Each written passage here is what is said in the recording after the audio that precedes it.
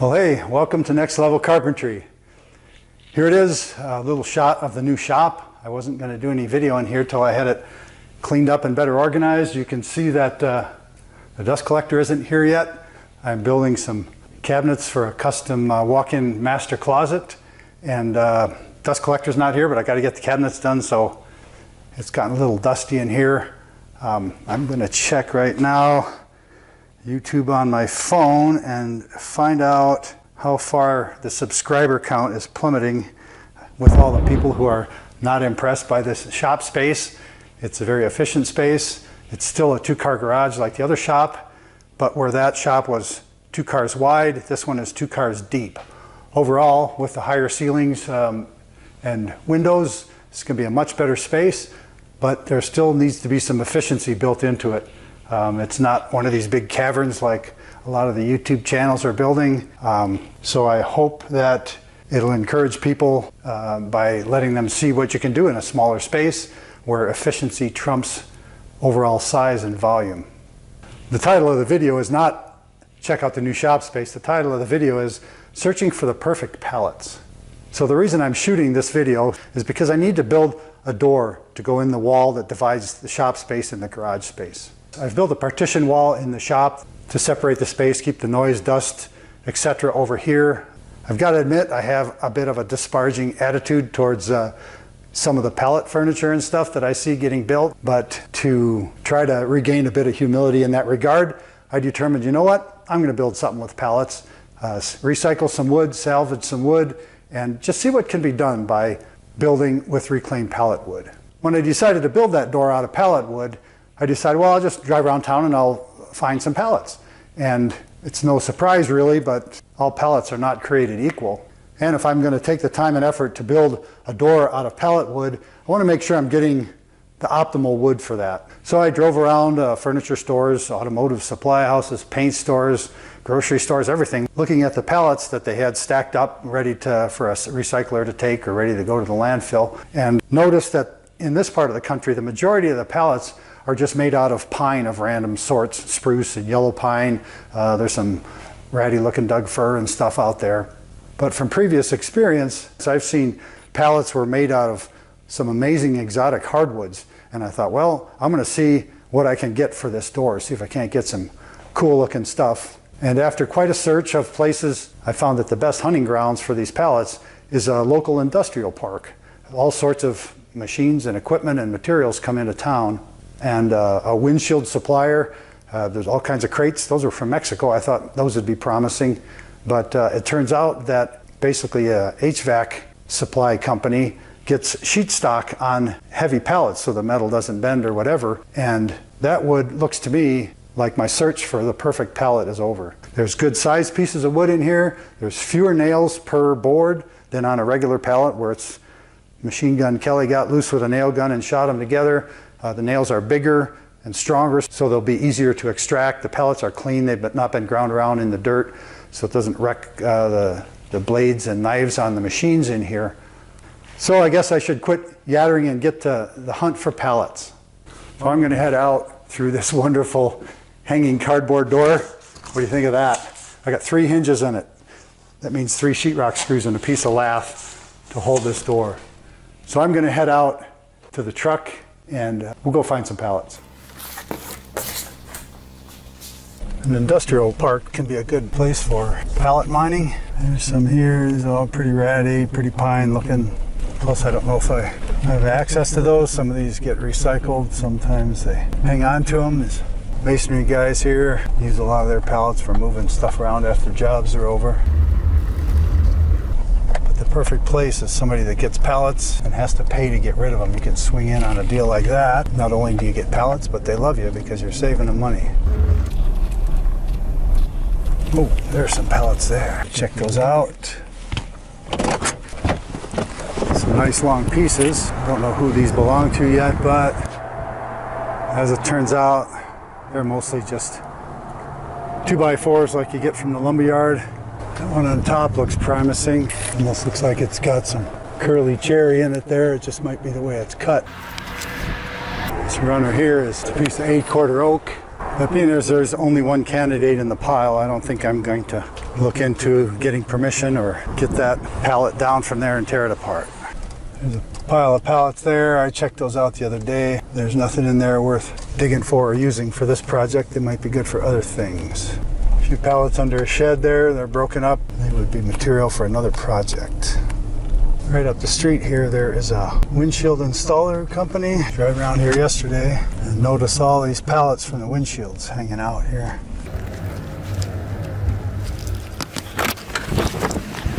And this all looked pretty promising on a drive-by, but close inspection shows that although it's pretty nice clean wood, it's all thin, it's all pine or fir, which isn't what I'm after for this project. So here is a HVAC supply place We've got some of these long pallets, apparently for sheet goods, that should make good material for that new shop door. This one on the bottom here, it's got some cherry 4x4s, that should work. They asked me if I'd leave one of the long ones so that means I can take one and leave one. The rest of these things are just a little too ratty for our purpose.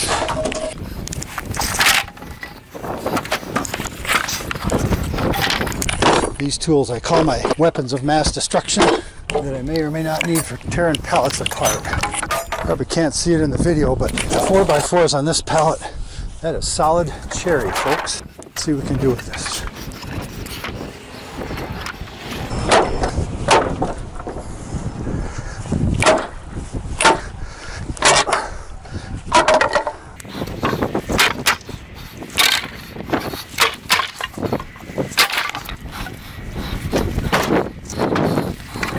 When I think of something that could be called a perfect pallet, that's what I think of.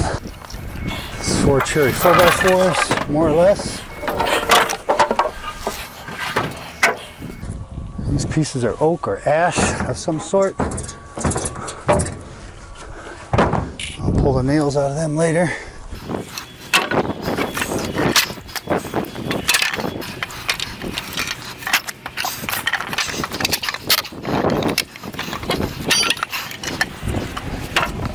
Said earlier, bigger pallets have fewer nails.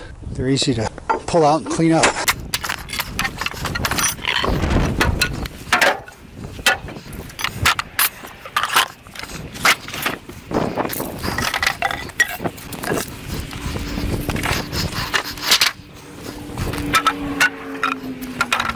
Again, as they're doing me a favor, give me these pallets. I always want to leave place better than when I found it.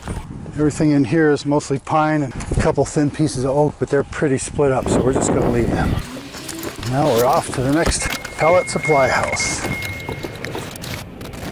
There's a nice looking pile of pallets, but it looks like somebody's saving those. They're not pine, but they're not hardwood either. Maybe they're poplar or something like that. Well, I have to keep shopping. I already pre-screened this stuff, but when I swung by here the other day, there was some awesome long pallets in this pile over here. And I am completely bummed out to say that it appears the pallets I most wanted in this hunt that were laying there the other day, somebody else snarfed them up before I could get over here with the camera. Well, that's a complete drag. There was two long pallets here and they were built out of solid cherry 4x4s. And it appears they are gone. Leaving me these guys. Middle piece looks like cherry. These are some kind of ash or oak, so they're worth taking. But it isn't the gold mine I was expecting. Well, beggars can't be choosers. A lot of my tools have names, and this particular hammer is named Thor. Like the Viking guy, Thor, but actually, whenever I hit my thumb with this thing, it gets really Thor.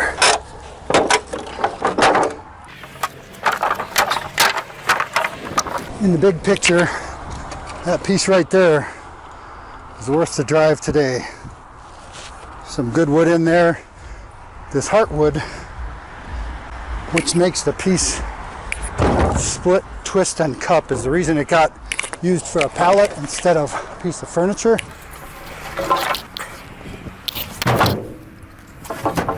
But with the marvels of modern woodworking machinery and equipment, I can spend the time to clean it up and get useful wood out of there when the hardwood mill just can't justify the extra time it takes or the potential for that wood to twist and warp in a finished product later. So they turned it into pallets. That's good for them, and this is good for me.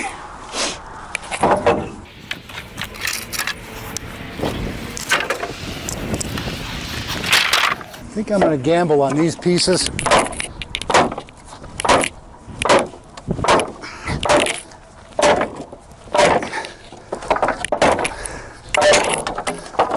I might take them all the way back to the shop only to find their ugly junk. And I'll give them to somebody for firewood. But there just might be some sweet looking lumber down inside there that's worth tearing apart. Go Thor, go!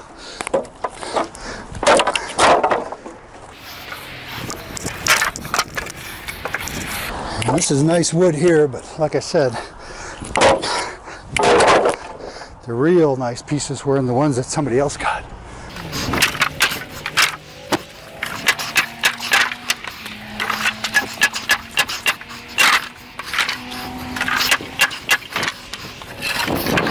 Once upon a time, I might have been tough enough to hang on to that. Not today. I'll just do it like they did in the old times. A little bit of counter lever gets the job done.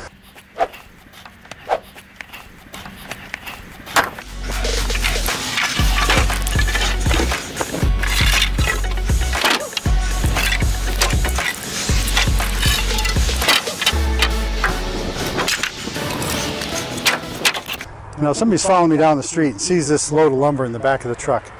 There's two things that are going to clue them in that I didn't just come from a big box store. The first thing is that there's some nails sticking out of this lumber. And the other thing is that a lot of what you see in big box stores these days isn't nearly this straight.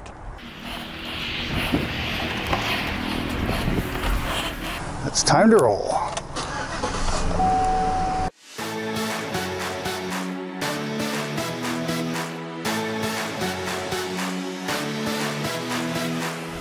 And as a teaser for things to come, I'm going to do a panning shot of the inside of the shop. So you can see the issues that I'm facing to get this space optimized. The other garage that you've seen in all the other next level carpentry videos, I grew into that organically over 35 years. So everything had its place. I knew where everything was. It was packed in there, but it was very efficient. Uh, this is disarray because I haven't built the drawers and shelves that I'm going to yet. There's a lot of things I'm going to cull out of here. But in the meantime, it's pretty much haphazard disarray. But um, when you see the cabinets that I'm building, I can still get some productive work done in here uh, based on the familiarity with, with the tools I do have. And um, it'll just only get better when the dust processor gets here, as I get tools parked in their place, and excess supplies and materials stowed away in some nice drawers. So here's that panning shot. I repurposed my old red Snap-on toolbox from, oh, close to 45 years ago. Bought a couple of these Masterforce ones because of their convenience and their value. Some of the shelving in here is existing shelving. The bench with the welder, that's pretty much going to go away, I think. I've got a piece of cardboard in this door opening at the moment to keep the dust from migrating quite so much. This overhang part here is a shelf on the other side. It'll have storage drawers underneath it. Everything in the old boxes that sat on shelves in the other shop is going to go into some custom built drawers that mount on the wall under this overhang place. So when I'm done, there'll be no boxes in here anymore, but the same material will be here stowed away piles of boxes awaiting organization. There's the next level carpenter pencil. Going to be doing a build video on that before long. The stars on the pencil are Mrs. Next Level Carpentry messing with me and making me smile when I'm out in the shop. All these tools will have more efficient storage space. You see the space is long. Table saw moves around easily here. These are the lower drawer units of this master closet cabinet project that I'm doing. Behind here is the upper units that'll have adjustable shelves in them. Those pieces stack and then float eight inches off the floor. Behind the table saw is all the melamine material for making those drawers and uh, the shelves for them. And I just may do a video for building melamine drawers before I get to that pencil build video. See how things roll out. Now that I've come full circle, one day I will show you the view outside the window beyond those wooden blinds. It makes me smile with contentment just looking out there. And up there is a fantastic heater. It's three times as big as it needed to be for the full garage, so it's oversized by a factor of I don't know what for this space, but one thing is for sure, I'm going to be toasty warm in here this winter. Well, I didn't give any thought to how I was going to end this, so I don't have any video to go with this wrap-up segment. What you're seeing is me in the shop denailing the pallet wood once I got it back to the shop, separating the pieces and pulling the nails, using a few tips and tricks and special tools to get the job done. I can do a video showing that process if viewers let me know in the comments it's something they'd be interested in. If you found this video interesting, I hope you'll consider subscribing if you haven't already. It's free and you'll be the first to know when new Next Level Carpentry videos are produced and uploaded. There's a lot of exciting stuff coming up, so I hope you'll stay tuned and stop back by when you have a minute. And until then, as always, thanks for watching and happy pallet hunting.